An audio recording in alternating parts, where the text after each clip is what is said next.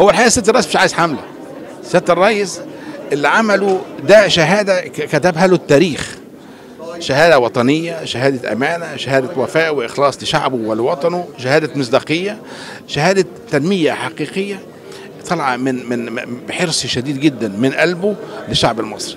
ما هوش عاوز تأييد. الناس الشعب كله حب عبد الفتاح السيسي اتغرس.